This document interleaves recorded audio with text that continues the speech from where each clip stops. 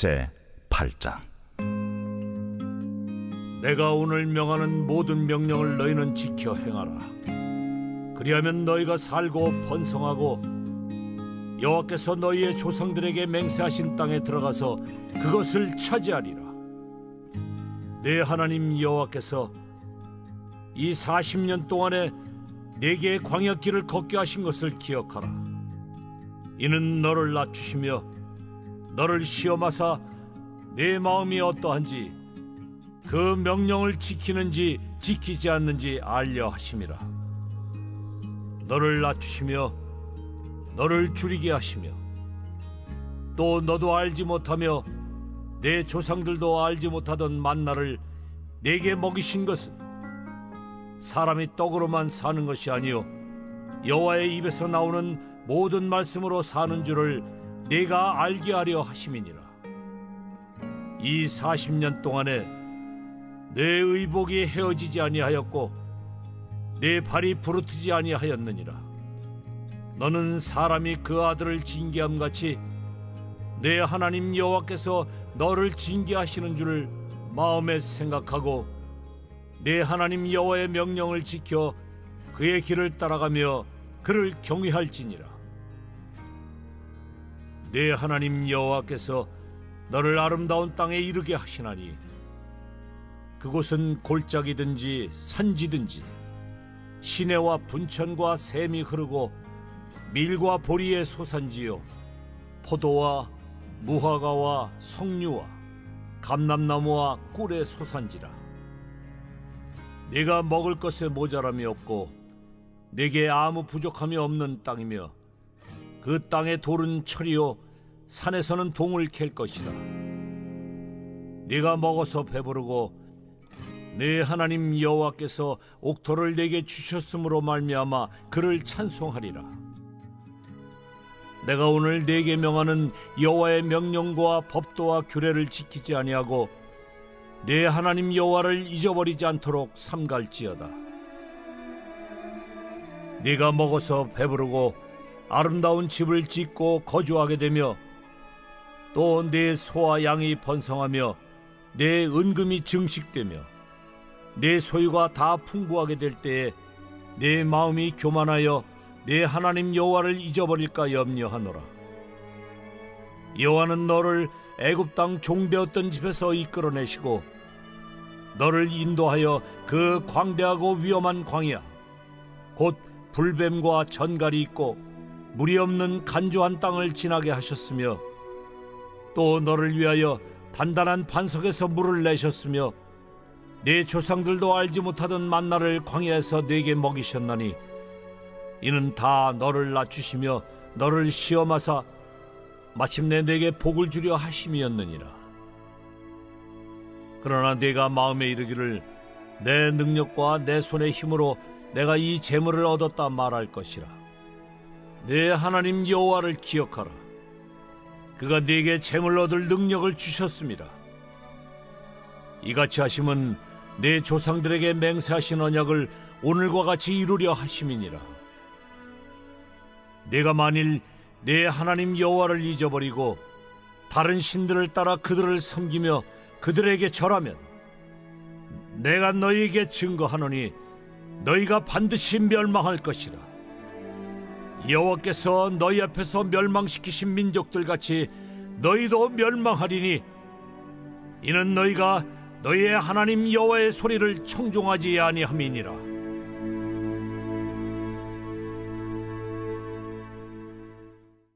제 91편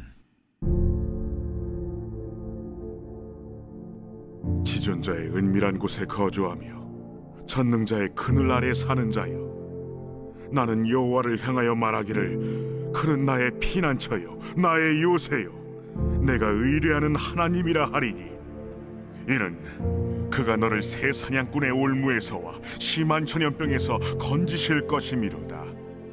그가 너를 그의 깃으로 덮으시리니 내가 그의 날개 아래에 피하리로다. 그의 진실함은 방패와 손 방패가 되시나니 너는 밤에 찾아오는 공포와 낮에 날아드는 화살과 어두울 때 퍼지는 전염병과 밝을 때 닥쳐오는 재앙을 두려워하지 아니하리로다. 천 명이 내 왼쪽에서 만 명이 내 오른쪽에서 엎드러지나 이 재앙이 내게 가까이 하지 못하리로다.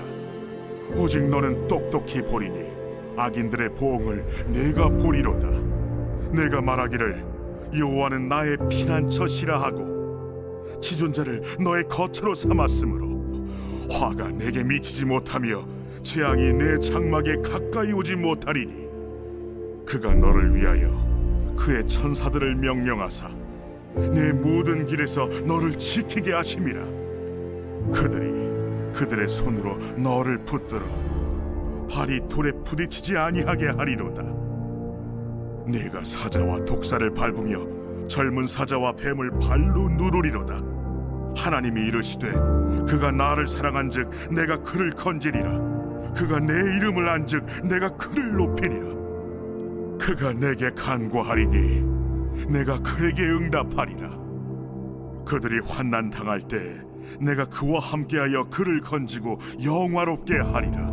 내가 그를 장수하게 함으로 그를 만족하게 하며 나의 구원을 그에게 보이리라 하시도다. 제 36장. 히스기야 왕 14년에 아수르 왕 사느립이 올라와서 유다의 모든 견고한 성을 쳐서 취하니라. 아수르 왕이 라기스에서부터 랍사게를 예루살렘으로 보내되 대군을 거느리고 히스기야 왕에게로 가게 하매 그가 윈못 수도곁 세탁자의 밭 큰 길에 섬에 힐기야의 아들 왕국 맡은 자 엘리야김과 서기관 셈나와 아삽의 아들 사관 요아가 그에게 나아가니라 랍사게가 그들에게 이르되 이제 히스기야에게 말하라. 대왕 아수르 왕이 이같이 말씀하시기를 내가 믿는 바 그 믿는 것이 무엇이냐? 내가 말하노니 내가 좋게 싸울 계략과 용맹이 있노라 함은 입술에 붙은 말뿐이니라. 내가 이제 누구를 믿고 나를 반역하느냐? 보라, 내가 애굽을 믿는도다. 그것은 상한 갈대 지팡이와 같은 것이라. 사람이 그것을 의지하면 손이 찔리리니 애구방 바로는 그를 믿는 모든 자에게 이와 같으니라. 혹시 내가 내게 이르기를 우리는 우리 하나님 여호와를 신뢰하노라 하리라마는 그는 그의 산당과 제단을 히스기야가 제하여 버리고 유다와 예루살렘에 명령하기를 너희는 이 제단 앞에서만 예배하라 하던 그 신이 아니냐 하셨느니라. 그러므로 이제 청하노니 내주 아스루 왕과 내기하라. 내가 내게 말 이천 피를 주어도 너는 그 탈자를 능히 내지 못하리라. 그런즉 내가 어찌 내 주의 종 가운데 극히 작은 총독한 사람인들 물리칠 수 있으리야. 어찌 애굽을 믿고 병거와 기병을 얻으려 하느냐? 내가 이제 올라와서 이 땅을 멸하는 것이 여호와의 뜻이 없음이겠느냐? 여호와께서 내게 이르시기를 울레가 그 땅을 쳐서 멸하라 하셨느니라. 이에 엘리야김과 셈나와 요아가 랍사게에게 이르되 우리가 아람 방언을 아오니 청하건대 그 방언으로 당신의 종들에게 말하고 성 위에 있는 백성이 듣는 데에서 우리에게 유다 방언으로 말하지 마소서. 랍사게가 이르되 내 주께서 이 일을 내 주와 내게만 말하라고 나를 보내신 것이냐? 너희와 함께 자기의 대변을 먹으며 자기의 소변을 마실 성위에 앉은 사람들에게도 하라고 보내신 것이 아니냐? 이에 랍사게가 일어서서 유다 방언으로 크게 외쳐 이르되 너희는 대왕 아스루 왕의 말씀을 들으라. 왕의 말씀에 너희는 히스기야에게 미혹되지 말라. 그가 능히 너희를 건지지 못할 것이니라. 히스기야가 너희에게 여호와를 신뢰하게 하려는 것을 따르지 말라. 그가 말하기를 여호와께서 반드시 우리를 건지시리니 이 성이 아스루 왕의 손에 넘어가지 아니하니라 할지라도 히스기야의 말을 듣지 말라. 아스루 왕이 또 이같이 말씀하시기를 너희는 내게 항복하고 내게로 나아오라. 그리하면 너희가 각각 자기의 포도와 자기의 무화과를 먹을 것이며 각각 자기의 우물물을 마실 것이요 내가 와서 너희를 너희 본토와 같이 곡식과 포도주와 떡과 포도원이 있는 땅에 옮기기까지 하리라. 혹시 히스기야가 너희에게 이르기를 여호와께서 우리를 건지시리라 할지라도 속지 말라. 열국의 신들 중에 자기의 땅을 아수르 왕의 손에서 건진 자가 있느냐? 하맛과 아르밧의 신들이 어디 있느냐? 스발로아임의 신들이 어디 있느냐? 그들이 사마리아를 내 손에서 건졌느냐? 이 열방의 신들 중에 어떤 신이 자기의 나라를 내 손에서 건져냈기에 여호와가 능히 예루살렘을 내 손에서 건지겠느냐 하셨느니라. 그러나 그들이 잠잠하여 한 말도 대답하지 아니하였으니 이는 왕이 그들에게 명령하여 대답하지 말라 하였음이었더라. 그때에 힐기야의 아들 왕궁 맡은 자 엘리야김과 서기관 셈나와 아삽의 아들 사관 요아가 자기 옷을 찢고 히스기야에게 나아가서 랍사게의 말을 그에게 전하니라. 제 6장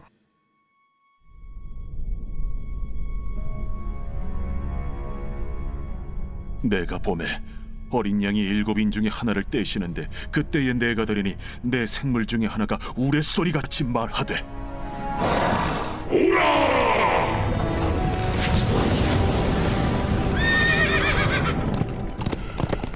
이에 내가 보니 흰 말이 있는데 그 탄자가 활을 가졌고 면류관을 받고 나아가서 이기고 또 이기려고 하더라 둘째 인을 떼실 때에 내가 들으니 둘째 생물이 말하되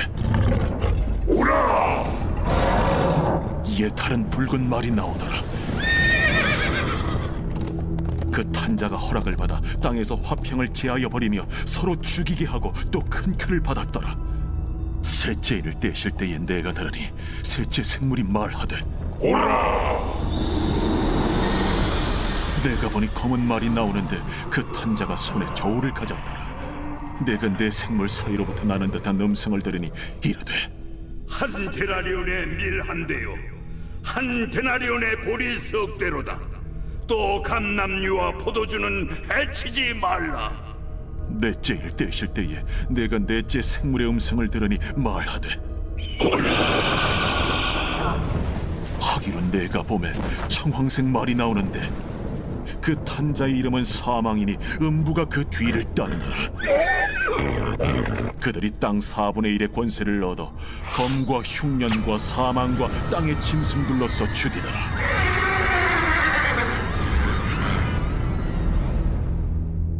다섯째 인을 떼실 때에 내가 보니 하나님의 말씀과 그들이 가진 증거로 말미암아 죽임을 당한 영혼들이 제단 아래에 있어 큰 소리로 불러 이르되 대주제여 거룩하고 참되신 대주제여. 땅에 거하는 자들을 심판하여 우리 피를 갚아주지 아니하시기를 어느 때까지 하시려 하나이까? 대주제여. 각각 그들에게 흰 두루마기를 주시며 이르시되 아직 잠시 동안 쉬되 그들의 동무 종들과 형제들도 자기처럼 죽임을 당하여 그 수가 자기까지 하라 하시더라. 내가 보니 여섯째 인을 떼실 때에 큰 지진이 나며 해가 검은 털로 짠 상복같이 검어지고 달은 온통 피같이 되며 하늘의 별들이 무화과 나무가 대풍에 흔들려 설익은 열매가 떨어지는 것 같이 땅에 떨어지며 하늘은 두루마리가 말리는 것 같이 떠나가고 각 산과 섬이 제자리에서 옮겨지매 땅의 임금들과 왕족들과 장군들과 부자들과 강한 자들과 모든 종과 자유인이 굴과 산들의 바위 틈에 숨어 산들과 바위에게 말하되 우리 위에 떨어져 보좌에 앉으신 이의 얼굴에서와 그의 어린 양의 진노에서 우리를 가리라 그들의 진노의 큰 날이 이르렀으니 누가 능히 서리요?